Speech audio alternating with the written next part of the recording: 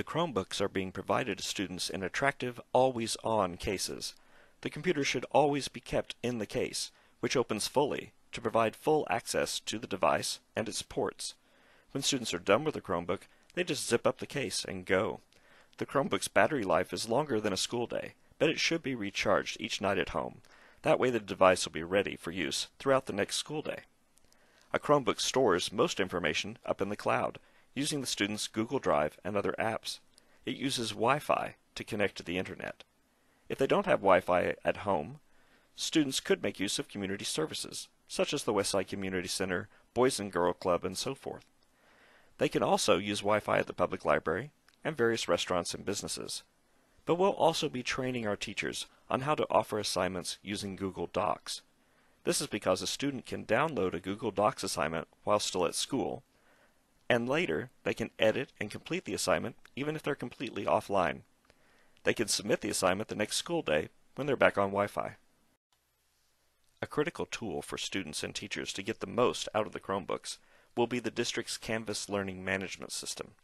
Let's hear from some BHS students who used Canvas. My favorite thing about Canvas is basically how easy it is to stay in touch with our teachers. On Canvas, you're allowed to see announcements that your teachers put up every day.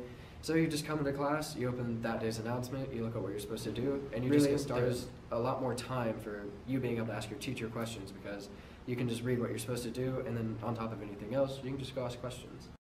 My favorite thing about Canvas is that I can see dates on everything that's assigned, so I don't have to wonder, well, was I absent that day? I can just go to the day and see everything and still stay on task.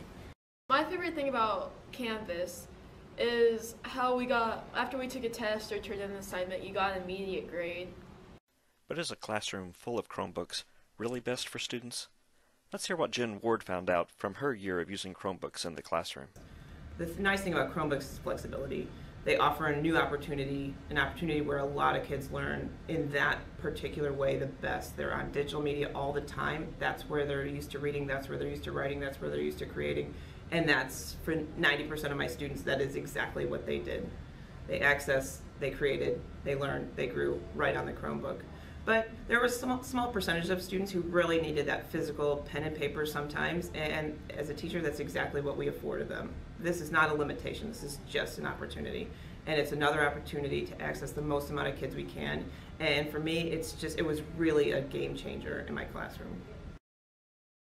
So, on occasion, students, even the best intentioned students, drop a Chromebook. and, and, that happens. Uh, Chromebooks are much more durable than they seem like they are. Um, accidents do happen, and, and the nice thing about that is well-intentioned students don't drop Chromebooks, but occasionally oopses happen. And when that does happen, we have people here at school who can fix that Chromebook for us and get it back in, in working order very quickly.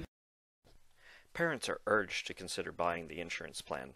For $30 cash, or even less if paying with a credit or debit card, you'll get full coverage for a first incident and half coverage for a second incident during the school year. We're excited to bring you this new learning opportunity. After you've watched the video and received your ID card, please enter the next room to begin the paperwork to check out your Chromebook.